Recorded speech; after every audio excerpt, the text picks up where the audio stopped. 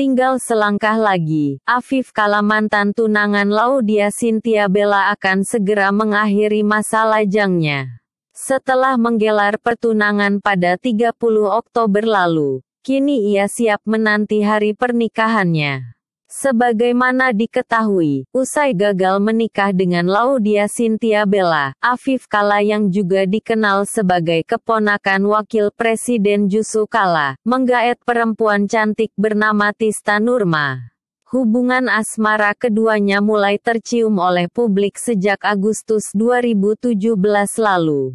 Saat ini, keduanya pun telah menggelar pertunangan. Kabar pertunangan keduanya beredar di media sosial. Acara pertunangan itu digelar dengan nuansa warna kuning. Dalam acara tersebut, hadir pula Wapres Yusuf Kala beserta istrinya. Tak lama setelah menggelar pertunangan, Kamis, tanggal 9 bulan 11 tahun 2017, lalu, Tista mengunggah fotonya di Instastory saat berada di sebuah pantai bersama Afif. Rupanya, saat itu mereka tengah melakukan pemotretan untuk pre-wedding. Ditelusuri tribunsolo.com, keduanya melakukan sesi pemotretan romantis itu di sebuah pantai di Nusa Tenggara Barat. Meski calon suaminya pernah gagal menikah dengan artis, Tista pernah mengungkapkan jika ia merasa beruntung bertunangan dengan Afif Kala. Menjelang pernikahannya Tista mendapat sejumlah kejutan.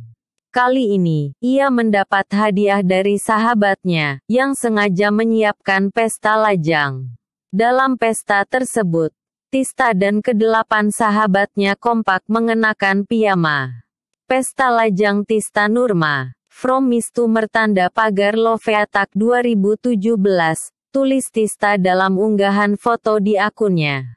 Namun, yang cukup menarik perhatian netter, ada kue pemanis pesta yang berhiaskan boneka. Boneka tersebut memperlihatkan adegan pasangan suami istri yang sedang berhubungan intim. Tak heran netter justru sibuk mengomentari kue tersebut. Tinggal selangkah lagi, Afif kala mantan tunangan Laudia Cynthia Bella akan